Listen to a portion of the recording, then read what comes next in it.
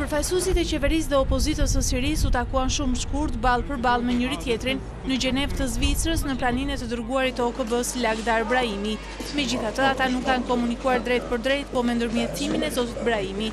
Takimi zgjati vetëm gjysmë ore, por shihet si një hap domethënës në përvijimin e një rruge që në të ardhmen mund të çojë në arritjen e një marrëveshjeje që do t'i jepte fund konfliktit thuajse trevjeçar në Siri. Në konferencën treditore të paqes, të quajtur Gjeneva dy, nuk synohet të nënshkruhet një paqe, por të paktën të bëhen disa lëshime nga palët. Bisedimet e Gjenevës zhvillohen në një atmosferë tepër të tensionuar.